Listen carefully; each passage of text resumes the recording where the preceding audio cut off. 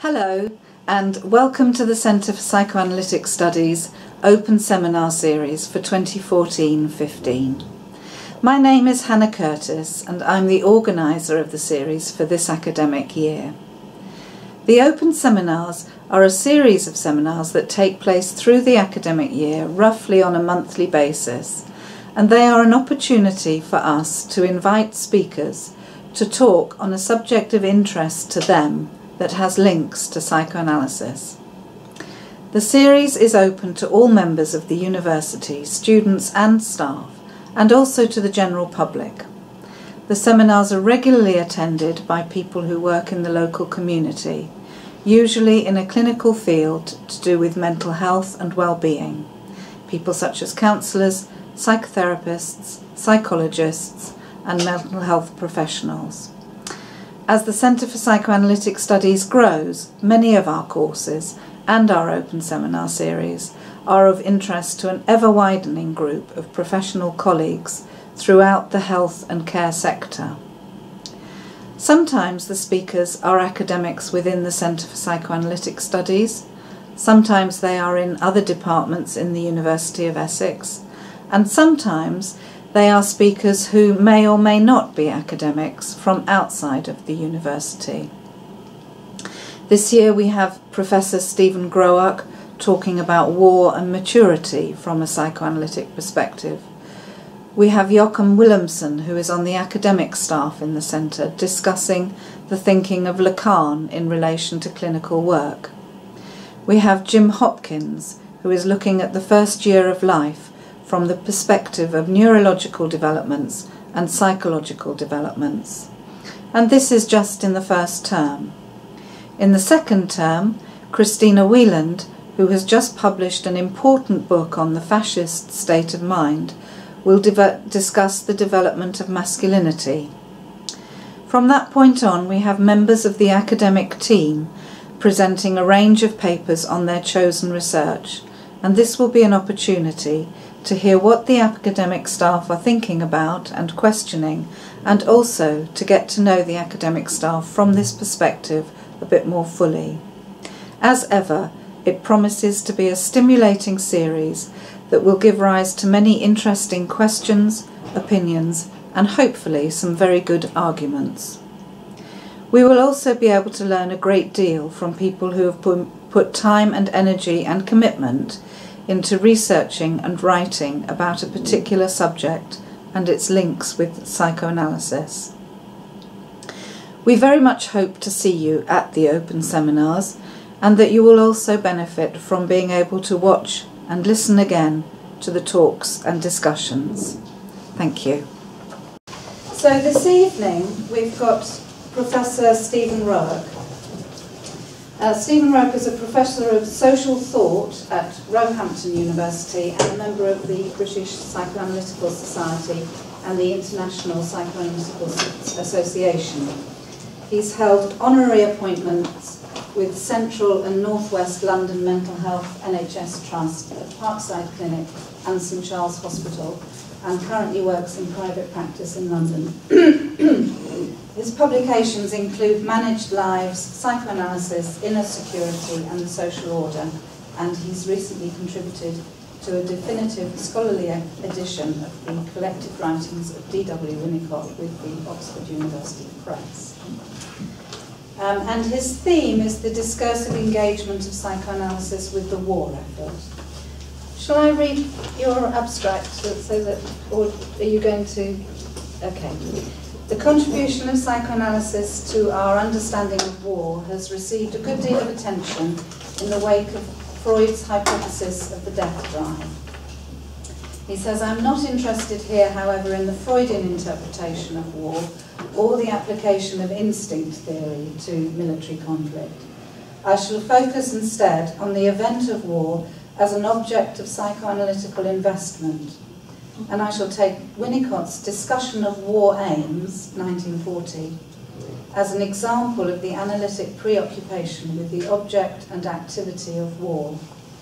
Written during the Second World War, Winnicott's paper crucially identified war aims with our aims in proposing the value of keeping our war aims as simple as possible. In her reflections on the Gulf War and the threat of total militarization in the context of nuclear weaponry, Hannah Segal proposed, rightly I believe, that coming to terms with the prospect of one's own personal death is a necessary step in maturation. Winnicott didn't see war as necessarily inimical to such an eventuality. In fact, I shall argue that he perceived war as a way out of our immaturity. Um, so Professor Groarke will speak for oh, oh, about 40 minutes or so, and then we will be able to have a discussion taking us up to 6.30. Psychoanalytic theories about war, I want to suggest, form part of the discourse of war, and as such, contribute to the wider political debate regarding the legitimate use of violence. This debate in turn throws light on the question of value, and in particular, what is due to the enemy in the context of war. In the past, as Max Weber pointed out, in a lecture delivered at Munich University in 1918, and these dates will become important, Weber claimed the most varied institutions have known the use of physical force as quite normal, whereas today, 1918, the relationship between the state and violence is especially, is especially intimate one. For Weber, the state rightfully claims the monopoly of the legitimate use of physical force in territories under its jurisdiction. Consequently, when psychoanalysis is brought to bear on the, relation, on the related questions of war and violence, it inevitably enters into a dialogue with the state. War was certainly a catalyst at various points in Freud's own work, 1915 and 1933, Thoughts on War and so on, and proved decisive in the formulation of the death drive. In privileging the hypothesis of the death drive, however, psychoanalytic ideas about war since Freud have adopted a narrow focus. The application of Freudian instinct theory, this is to repeat in a sense what Hannah's just said, in a sentence. The application of Freudian instinct theory to military conflict encourages a preoccupation with so called psychotic factors affecting war and institutional violence. Now, to be clear, and this is important really as a way of orientating myself to what I want to say and, and perhaps to help orientate yourselves in listening. I'm interested in the discursive engagement of psychoanalysis with the war effort, as distinct from the merits of different psychoanalytical theories about war. An evaluation of various post-Freudian perspectives on war is not my topic, here at least. Nevertheless, there are ways of addressing war from a psychoanalytic perspective without recourse to the notion of innate sadism. In this respect, my comments are based uh, largely on Winnicott's paper Discussions of War Aims from 1940. And again, this isn't to suggest that Winnicott's reflections on war are particularly insightful, but rather that they represent a psychoanalytic attitude to war in which the spontaneous violence of life is prioritized over the death instinct as a primary source of aggression. In fact, I don't think that Winnicott has anything more or less illuminating to say about war than Freud or Klein. Whereas I do think that the shift in focus from the power to hurt and damage one's early internal object on the one hand, the violence of life at the beginning on the other, augments or extends the theory of value in important and original ways. My reading of Winnicott is based on two basic distinctions, namely the distinction between violence and brutality and the distinction between maturity and necessity. The former rests on Winnicott's ideas about spontaneity and primary creativity. The latter, I would suggest, puts Winnicott at odds with Freud. And just to mention Freud really here, to clarify the difference, although an advance to maturity is implicit in the Freudian interpretation, so there is a concept of maturity in Freud's model of psychosocial development, so to speak, the discipline of necessity in Freud explicitly underwrites the reality principle in his late works. By contrast, Winnicott formulated a psychoanalytic model grounded on creativity, based on creativity and maturity. As regards the reflections on war, my main argument is that Winnicott employed maturity as a criterion of health. His, his words, as a criterion of health, alongside an understanding of violence as a spontaneous gesture of life. The argument, the main argument of this talk, the argument rests on two basic propositions. Firstly, that Winnicott revised the sociological thematic of the Freudian interpretation as a permanent task of social defence. And this revision applies both to war and to antisocial behaviour in Winnicott's case. Second, second basic proposition, that Winnicott retained the aggressive or destructive element in his account of primit- in his account of the primitive love impulse, the primitive love impulse, while at the same time revising the Freudian conjunction of culture and civilization. Uh, and Winnicott revises that from the standpoint of illusion. I mean, very simply, and you know, maybe it's something we can talk about uh, when, when, we, when we uh, get into a conversation, but for Winnicott, illusion precedes the drives, to say it simply. Taken together, uh, these revisions uh, seem to me to augment the critical reach of psychoanalysis as a theory of value. So it's not that I'm uh, contrasting and seeing one theory of war as better or worse than another, but trying to extrapolate from Winnicott's reflections on war a particular theory of value. And it's the theory of value in Winnicott that I'm interested in that arises in his reflections on war his reflections on society, in fact, more generally as he calls them.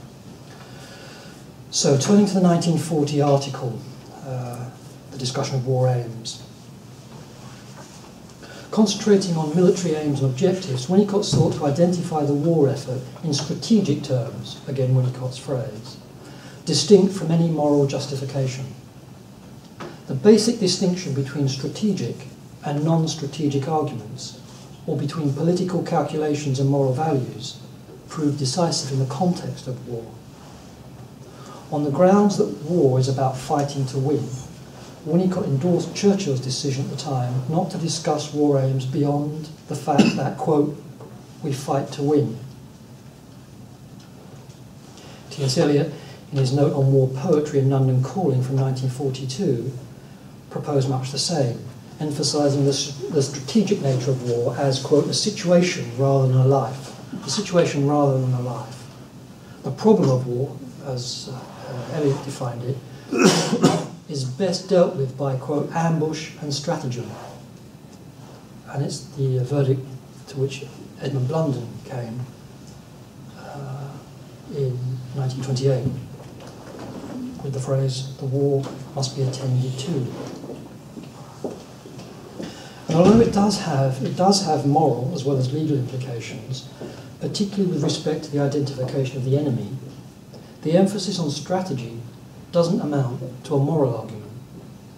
This at least is how Winnicott proceeds initially in terms of the strategic conception of war aims. The further question of legal sanction and human rights, I've been walking up and down the corridor for the last 20 minutes, so I'm attuned to much of what seems to be going on, at least on notice boards. But the further question of legal sanction and human rights, which is especially urgent in determining whether collateral damage, quote, to civilians is excessive in relation to any, quote, anticipated military advantage, isn't addressed explicitly at any point in Winnicott's 1940 article. Brutal violence against non-combatants isn't taken into consideration as part of the so-called problem of war, Winnicott didn't consider proportionality, quote, as part of the strategic calculation, but counted military advantage as a seemingly unproblematic expression of war aims. While it doesn't address the problem of war crimes from the perspective of international law, the strategic argument is nonetheless directly concerned with the question of, quote, military advantage. Thus, Arguing in terms of fighting to win, Winnicott claimed that he wasn't ashamed in assuming a strategic attitude towards the war. This is a direct quote. We are doing no extraordinary thing to fight simply because we do not wish to be exterminated or enslaved. End of quote. the wish expressed in this claim presupposes a particular theory of human development.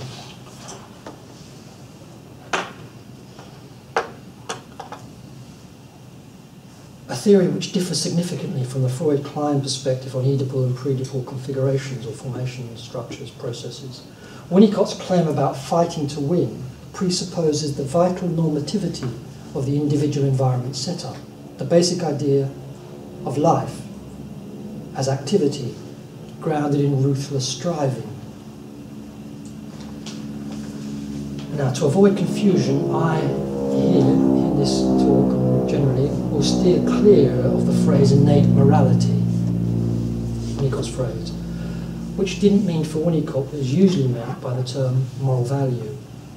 Instead, I shall refer to the intrinsic value in living in order to specify the primary feeling that life is worth living, as distinct from the cultural, as distinct from cultural value in morality, religion, politics, and so on.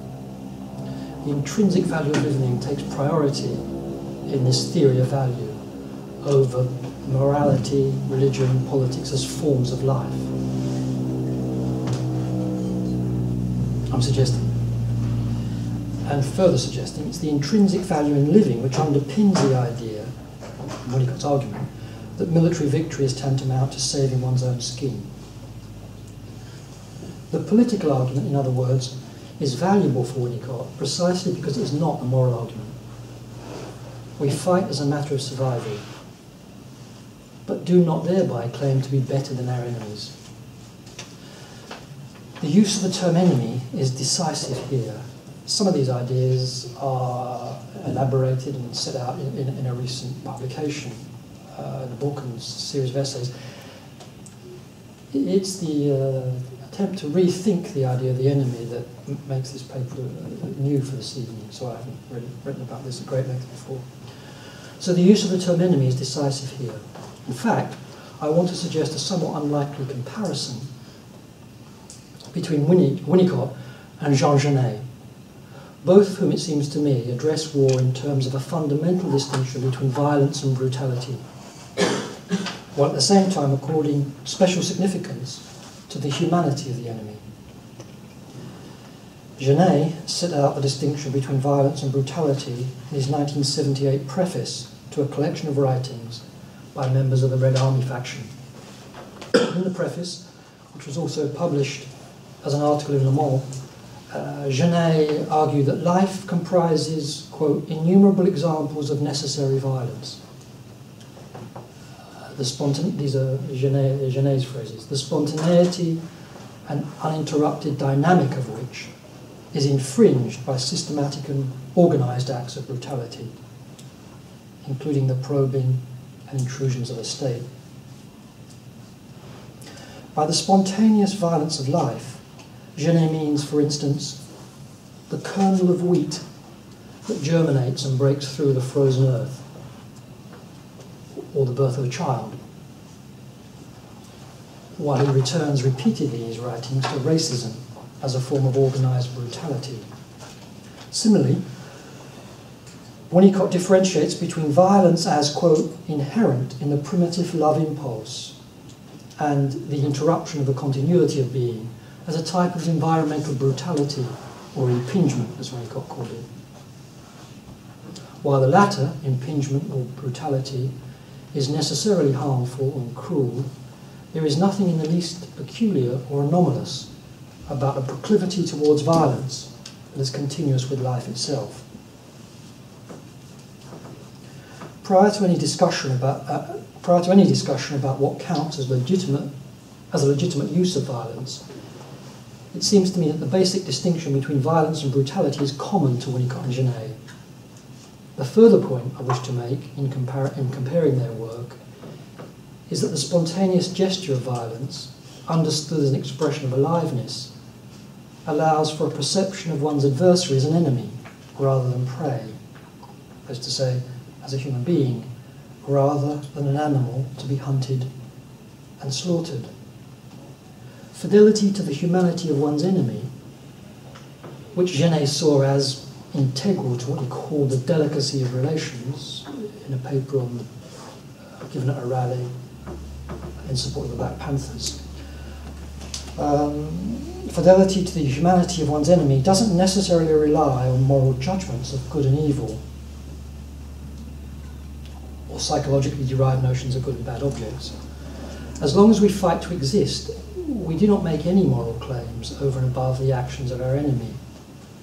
We do not, quote, this is we do not, quote, assert that we have some quality that our enemies lack. The basic assumption here, for Winnicott at least, is that everybody in a state of health fights to exist, and that we, do, and we are no better or worse than anybody else in this fundamental respect. Survival is what matters in a theory of human nature based on the intrinsic value in living. The question of moral value, as distinct from the intrinsic value in living, doesn't arise so long as strategy, in the 1940 paper, so long as strategy is identified with the reaching impulse of primary aggression. At the most basic level in the human situation, violence is life, irrespective of what one thinks the good life ought to be. What matters isn't settled at the level of natural necessity, however. So there's a shift at this point in Winnicott's argument. Having proposed, having read Winnicott to be saying that the strategic argument presupposes the intrinsic value in living, first argument, there's a move now at this point in Winnicott's paper. Again, rather kind of difficult to extract from the way Winnicott writes, but it's really given to arguments. But um, may know, um, but I'm suggesting though that the matter uh, of uh, the matters aren't settled at the level of, of natural necessity, as Winnicott called it. Morality and politics are active um, albeit as derivative, I'm suggesting, albeit as derivative formations of human value in rendering life as an historical phenomenon. So the move now is to, to the level of history. The same holds for Winnicott as for Genet. Physiology doesn't cover the whole of our perception of the enemy's humanity. We invariably perceive the enemy in historical and political as well as categorical terms or, or if you will, existential terms or ontological terms. I mean, any, any, any kind of categorical kind of construction um, the enemy. Genet resisted. Genet resisted the brutalization of the enemy in siding with the Red Army faction in West Germany, the Black Panthers and the Palestinians. For Winnicott, the Nazis were identifiable as the enemy, including the mass leaders and intellectual sympathizers, as well as the antisocial elements in society that attracted to its ranks. Put simply, for Winnicott's generation, here was the enemy. Here was someone you had to fight. And once again, the legitimacy of the strategic argument is that we find in the 1940 paper. The legitimacy of the strategic argument does not issue from a position of moral authority. But the question for me at least, is does, does it accord, does the strategic argument, if it doesn't issue from moral authority, does it accord with the norms of moral conduct? Which seems to me to be a different question.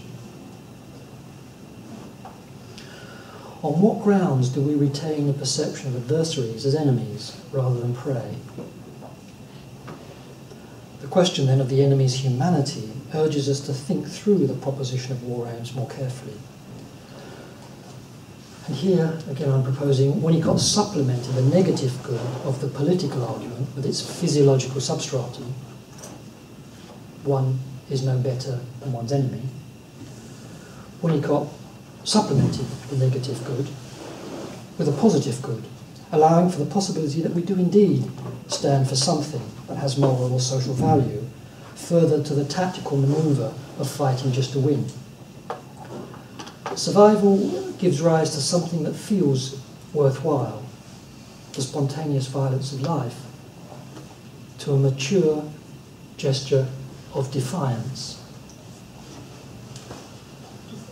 I'm introducing the notion of defiance alongside Winnicott's notion of compliance um, and seeing a struggle fought out um, on the underbelly of the psyche somatic structure of Winnicott's thinking at a historical level between, violent, uh, between defiance and compliance. In other words, the idea that there is more to survival than pugnacious combat, uh, more than the law of talion or retaliation, raises the issue not only of what we stand for, but also whether or not our standing for this or that presupposes a moral argument. Now, in some ways, this may seem, oh, it's difficult to hear this, I realise, and it's, it's, easier to, well, it may be easier to read it uh, if you have it in front of you, but I, I want to that Winnicott does have a moral argument, but it, I think there's a danger of assuming the moral argument is given in the first move of, of the paper. Um, and then I think there's, there's a problem with that, and there's a moralization of psychoanalysis that can follow from it, I think, and a particular way in which psychoanalytic concepts can take on a kind of moral connotation. I, am suggesting that Winnicott doesn't, um, I mean, knowingly or unknowingly, explicitly or implicitly, I'm suggesting Winnicott doesn't actually fall into that particular trap. There's an argument which precedes the move to morality, but the, the move to morality is a fundamental part of the argument.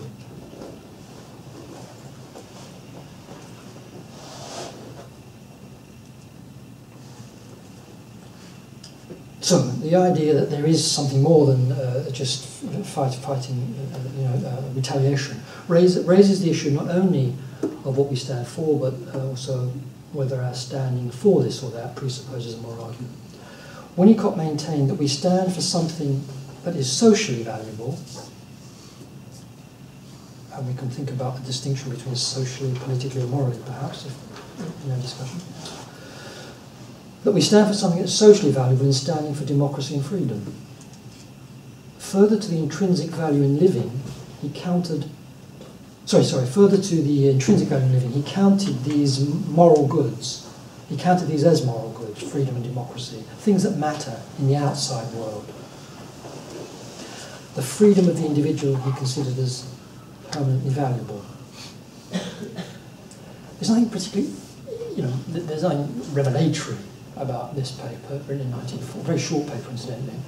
Um, so I don't, I'm not saying that, when you can't forget we can go to this paper for, for particular innovations in, in moral theory or political philosophy, far from it. But the arrangement of the paper and the structure, the kind of architecture of the argument, if, if, uh, the architecture of the thinking, seems to me to be crucial um, and have crucial and have particular implications for psychoanalysis and its deployment outside of the clinic. So I propose that the perception of one, I, am proposing that the perception of one's enemy is the litmus test of these secondary values. So that the argument moves from the intrinsic value in living to moral forms of life. But the perception of one's enemy at the more fundamental level remains the litmus test of the so-called higher level. I don't know what quite to call them, higher level values, but uh, Jonathan Lear has recently called them in the current in the current issue of the International Journal, International Journal of Psychoanalysis, um, life values, happiness, truthfulness, uh, the sense of reality, and so on. I'm suggesting the intrinsic value of living lies beneath those. Um, so the uh, the perception of one's enemy then is, is, is a test, a, a, fundamental test of these values. And I wanted to quote at this point um, the following descriptions from Blunden's account in, in, the encounter with the enemy in his book Undertones of War. So this is a quote from Edmund Blunden. Quotes. Looking about in the now hazier October light, I saw some German prisoners drifting along, and I stopped them. One elderly gentleman had a jaw which seemed insecurely suspended, which I bound up with more skill, with more will than skill, and obtained the deep reward of a look so fatherly and hopeful as seldom comes again. End of quote. Blunden was writing about the Somme in 1928, ten, 10 years later. Indeed, I'm not quite sure. It's the 22nd today, I think, of October, and I think I'm, I'm fairly certain that these the, these quotes come. I, I, made a note, then lost the note in my mind somewhere, but it's, it's just come back. That these notes were made on the 22nd of October 1918. Well, 1916, sorry. Elsewhere, uh, Blunden describes how, quote, by the grace of God, suddenly two of the enemy from another direction wandered among them, among a group of soldiers, and surrendered. These prisoners duly arrived at battalion headquarters, seemingly half expecting to be eaten alive. A milkman and an elementary schoolmaster, most welcome guests, Blunden describes them as. Our perception of the enemy as welcome guests prompts the question of moral value that otherwise remains elusive from a physiological perspective, from the physiological perspective of primary aggression. The intrinsic value of living gives rise to justice, precisely as recognition of the humanity of one's enemy raises matters above the power to hurt and the brute fact of retaliation.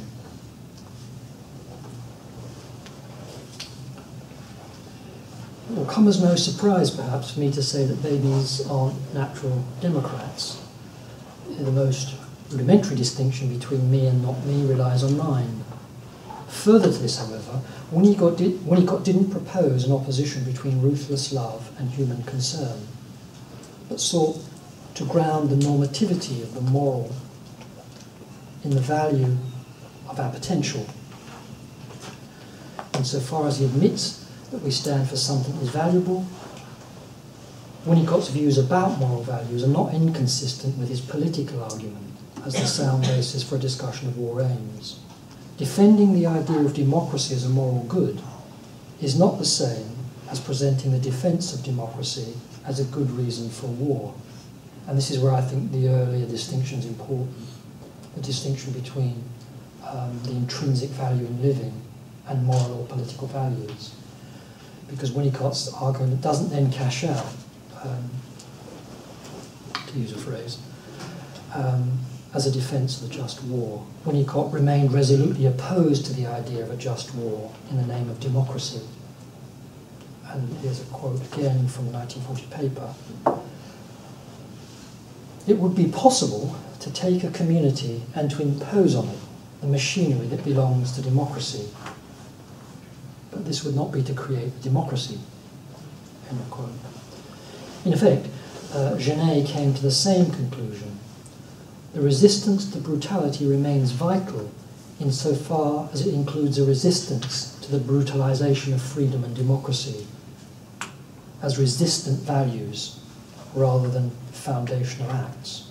The spontaneous gesture of, the spontaneous gesture of life as violence distinct from the brutal gesture of impingement, allows us to think life itself as freedom, distinct from a pure idea or, or, a human right.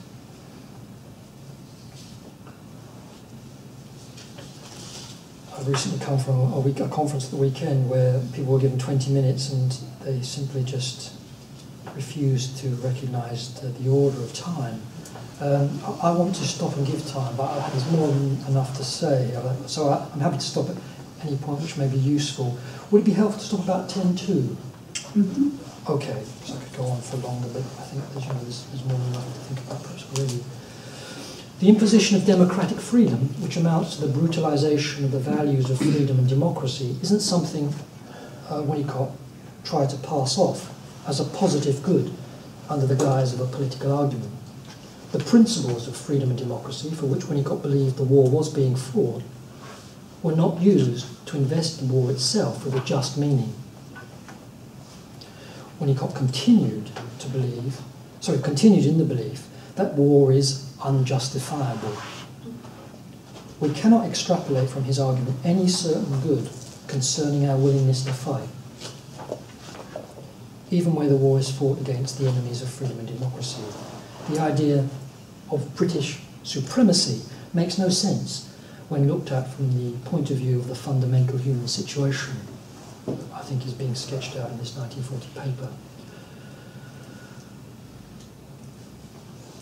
Winnicott continued to subscribe to the idea of a strategic imperative while claiming that we are more humane than our adversaries insofar as we, quote, aim at a more mature stage of emotional development rather than our enemies do. Now, this again is the second real fault line in the paper. I said at the beginning it seemed to, well, I'm, I'm suggesting anyway, that the argument of the theory of value, or the outline of the theory of value, really, to be more accurate, that's in the 1940 paper is based on you know two distinctions between brutality and violence, um, and the idea of necessity and maturity at the beginning of the talk. Winnicott, I think, derives, or at least I've read Winnicott in order for myself to derive a theory of the enemy. It certainly refers to the enemy throughout the paper. A theory of the enemy, an idea, a, a, a recognition, a perception of the enemy, I'm calling it. And that's derived from this first distinction between brutality and violence. When, when, he, when the paper then moves to talking about and deploying the idea of maturity and the criterion of maturity, Winnicott then uh, derives from that a, a, different kind of argument, no longer about the enemy, but about the usefulness of war as a form of maturation, which is a different argument. And if I can, within the, you know, I'd, I'd like just to sketch that perhaps before we, we stop and, and talk. Um, and it's here in that, it's in that quote I just just uh, recalled. Um, perhaps if I may, I'll just read this again then. Winnicott continue, uh, sorry, Winnicott, con- Winnicott do? I continue to subscribe to the idea of a strategic imperative while claiming that we are more humane than our adversaries, insofar as we aim at a more mature stage of emotional development than our enemies do. Value derives from the fact of recognizing the humanity of our enemies, even where they succumb, even where they succumb to brutality. At the same time, there is no moral value in the willingness to fight, where will amounts to no more than a physiological term. Moral value resides rather in the aims that move us to fight beyond the will to survive, and as such promise to take us beyond the battlefront. Winnicott, in other words, didn't subscribe to the idea that we are continuously and permanently at war with one another, but maintained a rigorous distinction between ruthlessness and brutality.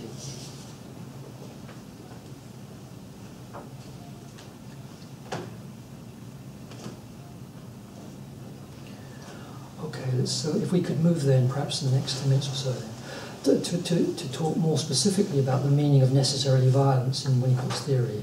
Uh, in a, 19, a paper published in 1945, uh, entitled The Primitive, Primitive Emotional Development, a seminal paper of Winnicott's, which has been written about you know, great length, um, and, and, and with, with a good deal of, you know, usefully and, and very wisely, I think. But Ogden has an interesting paper on it. Well, there are, there are many papers. Um, Winnicott postulated an early ruthless object relationship as distinct from sadism and brutality or the power to hurt. I don't know that this paper has been linked. It may have been, but I don't know of the fact of it being linked to the, to the theme of war. And yet the link seems clear enough to me, and the dates are what they are. The ruthless self, so to speak, is described as aggressive in particular and violent ways. The baby hurts its mother and wears her out. But even as the baby goes at its mother in a savage way, Winnicott maintains that it isn't driven by innate destructiveness. Rather, he equates the, the reaching impulse, Winnicott's phrase, with life. And then a quote from Winnicott. When a baby go, goes when a baby goes from the breast and drinks milk, in fantasy, he puts his hands in, goes for the breast, that should be. Um, in fantasy, he puts his hands in, or dives into, or tears his way into his mother's body, according to the strength of the impulse and its ferocity, and takes from her breast whatever is good there. I mean, not dissimilar from some of the descriptions of clients, of course, but the way in which the description is being deployed is fundamentally different. Um, but the description itself is, is, is familiar. On this crucial point, the distinction between primary aggression and the death drive, or between violence, understood as an uninterrupted dynamic that is life itself, and acts of brutality, underpin pins the political distinction between strategic and non-strategic arguments. Together, the two sets of distinctions, existential and political, underscore the use of maturity as a general evaluative principle for Winnicott. In the context of war, the criterion of maturity proves decisive in allowing for a, a distinction between political aims and moral values. In particular, it vouches for the idea that while we stand for things that have moral value and that matter, including the freedom of the individual and the concomitant sense of insecurity that I already referred to, we do not necessarily stand for these things on moral grounds. The existential distinction between violence, or primary aggression, and brutality is part and parcel of the strategic argument. Standing for something that matters is not seen as inimical to the use of violence. But neither does it legitimate the use of violence on moral grounds. Indeed, further to the substantive question of what we stand for or what matters, Winnicott made a case for war on psychological now as well as political grounds. He argued that, quote, we could show that the Nazis are behaving like adolescents or pre adolescents, if we could show that they're behaving like adolescents or pre adolescents, whereas we are behaving like adults, we should have a good case, Winnicott claimed. End of quote. Now, whether or not one agrees with the substance of this claim, the criterion of maturity again nonetheless presupposes a further distinction between political motives, conscious and unconscious, and moral values. I want to say, and you know, let's, let's perhaps talk about this as well if, if you wish, that Winnicott's discussion of war aims is not contradictory, but complex, irreducibly complex, comprising a threefold distinction with respect to political calculations, substratum of physiology, psychological motives, psychological motives, and moral values. I don't think there's anything comparable to this uh, set of distinctions in Freud's critique of morality. Basically, morals and religion in Freud, uh, as, the, as the cause of torment and his related insistence on the discipline of necessity. I'm passing over the subtlety of Freud's argument, and that's something we might want to come back to, but I think it's the weakest part of Freud's work uh, across the board, really, a critique of religion and, and morals. For Winnicott, although we may stand for democracy and freedom as moral goods, the morality of these values is not the issue when it comes to understanding why we wage war. Psychologically speaking, it is consistent that we fight for our lives and behave like mature adults. It's consistent to make both those claims. This is not a moral justification of war, but the defence of oneself and society along political and psychological lines. Conversely, social defence is not essentially part of Winnicottian ethics so much as a supplementary argument. The comparison I've made here uh, with Genet's posture of defiance contra, contra brutality may also be applied to, to Levinas. There's a long piece on Levinas here that I won't go into. I think it would just take us too far, far afield. Um, let, let, let, me conclude then that well, I'll be finishing more or less on 10.2.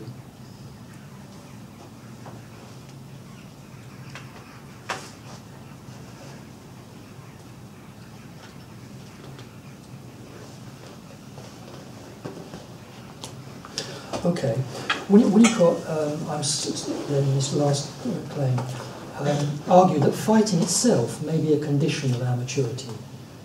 This goes beyond that perception of the enemy as, a, as welcome guests. This is a different argument, and renders the encounter as a maturational task.